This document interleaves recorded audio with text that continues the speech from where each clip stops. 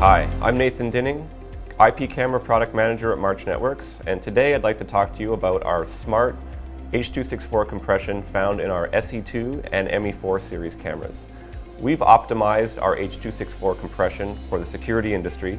It will really help cut down the data rates coming from our cameras and increase your storage time. So now let's take a look at our SE2 series camera set up in variable bitrate mode.